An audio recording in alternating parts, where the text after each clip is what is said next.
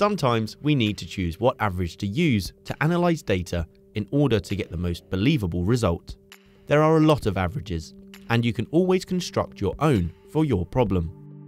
But here are all three most common ones mean, median, and mode. Mean is just a sum of all values in a dataset divided by their number. For example, take a look at this set. These are the ages of children who took part in a maths competition. Let's find the mean.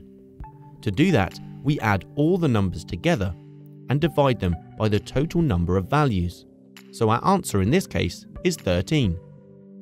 Median is the middle value in an ordered dataset.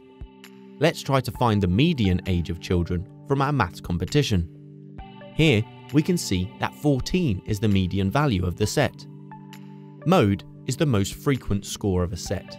In the case of our children, the mode is also 14. As you can see, average values can be very similar or even the same, but there are situations where some of them fit the purpose better than others. For example, if we are trying to find a measure of central tendency for categorical data, we can only use mode. That's because we don't have values to calculate the mean or to order them in a set to find the median. Consider this. Students from the same class were asked what their favourite pet was, and here are their answers. We can easily notice that most of the students preferred dogs, so we can conclude that this is the mode of their pet preference. If our variable is ordinal, we can order values to find the median, and it will serve as a much better estimate than the mode. For example, if we look at the results of a questionnaire with the ages of respondents, we can see the tendency by ordering them and finding the median of an ordered set. So here, our median is teenager. Although there are more children than teenagers and the mode would be child. But as we can see, the median is closer to the real tendency than the mode in this example, and this will be the case for most of the ordinal variables.